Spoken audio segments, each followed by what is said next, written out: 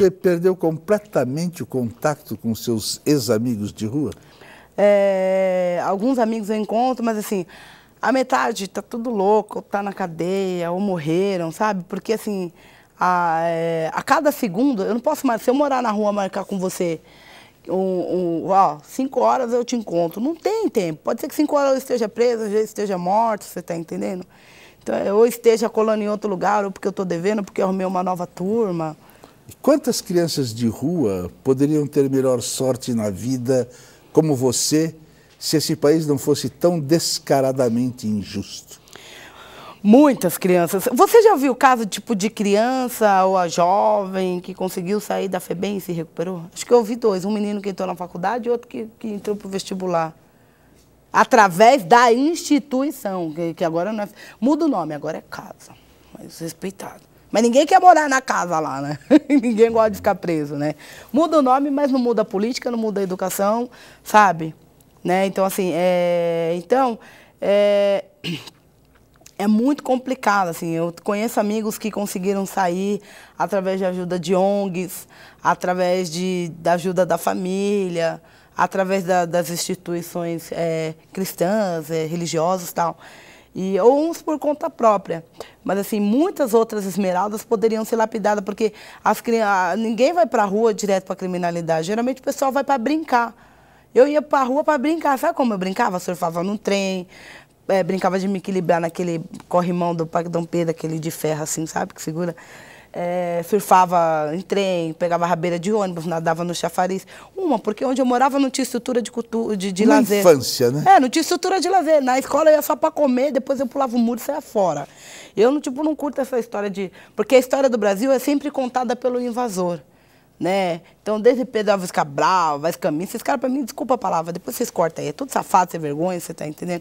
Nunca vi um país onde os reis, que eram negros, vieram e viraram escravo, e os caras que eram ladrão viraram rei. Diga uma coisa, você é religiosa? Não, não sou religiosa. Me conte uma coisa, você se sente em dívida para com as pessoas que te ajudaram?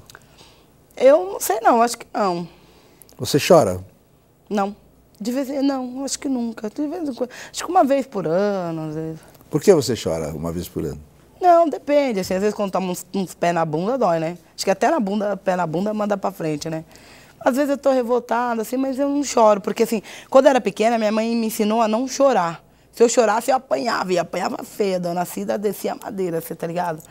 Na FEBEM, se você ficar muito chorona tal, as meninas já te põem no esquema. Na cadeia, pior ainda. Na rua, se você, você tem que, é, para um cara ouvir as suas lamentações, você tem que dar um bericutico, que é um pedacinho de droga. Como é que você gostaria de morrer? Ah, ontem eu estava pensando como que eu queria morrer. Sei lá, talvez uma roda de samba, né? Quem sabe? Oh, eu não cantei um samba que eu ia cantar por você. É seu tempo, meu amor. A vida você quer é cantar sua. um? Quer que eu cante um samba? Eu quero que Ó, vou cantar um samba para você que eu escrevi, eu tinha 10 anos pra de mim, idade. não, para todo mundo que está te assistindo. Tá bom, para todo mundo que está assistindo. Ó, eu tinha 10 anos de idade quando eu escrevi esse samba. É, foi o primeiro samba que eu, que eu escrevi. Agora você se vinga da vida e canta. Então vamos lá. É um samba dolente. Peraí. Somos nós o amor, somos a esperança dessa vida, somos um consolo de uma dor. A tristeza do homem, quem apaga é a criança, esse ser de luz criado pela esperança. Sua inocência faz a gente acreditar. Quem não conhece a beleza desse olhar.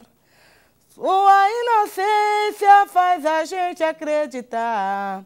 Quem não conhece a beleza desse olhar. Toda criança é capaz de transformar uma luz no infinito clareando o caminhar. Não vou cantar porque tá me dando vontade de chorar. Eu Olha não gosto de chorar. nós pusemos você em canto. close cantando, quem Ai, sabe eu dá vontade de chorar. vida. Ai, cá. eu não gosto de chorar. Ah, Ui. agora o seguinte, digamos que você um dia Hum. teve vontade de falar uma porção de coisas Hum. E não deixaram você falar, ou você queria falar não conseguiu. Então esse programa tem uma liberdade, como você Fala viu, que eu te escuto. de você falar o que você quiser. Então, para terminar a sua entrevista, olhe para aquela câmera e fale o que você gostaria de falar para as pessoas. O que, que eu falaria para as pessoas? Nossa, chega na hora, trava, você tá entendendo? Mas, tipo assim, eu falaria o seguinte. é, parece até um jargão, mas não é um jargão. É porque é o seguinte, é, é muito fácil escrever livros sobre qualquer coisa. Falar sobre a vida é muito difícil. Né? Então, a minha, o meu propósito ao escrever o livro, porque eu não dancei, é para falar que existe possibilidade de lapidar esmeraldas.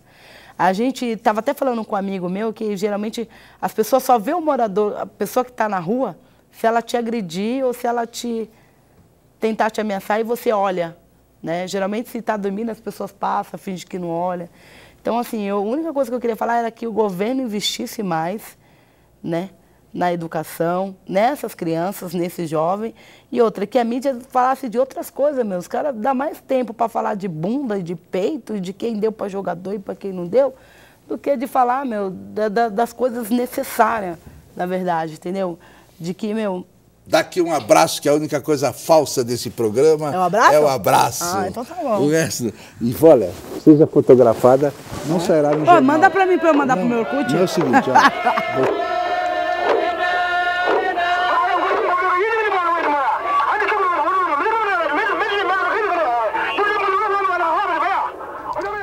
Nada é impossível de mudar. Desconfiai do mais trivial na aparência singelo. Examinai, sobretudo, o que parece habitual. Suplicamos expressamente. Não aceiteis o que é de hábito como coisa natural, pois em tempo de desordem sangrenta, de confusão organizada, de arbitrariedade consciente, de humanidade desumanizada, nada deve parecer natural, nada deve parecer impossível de mudar.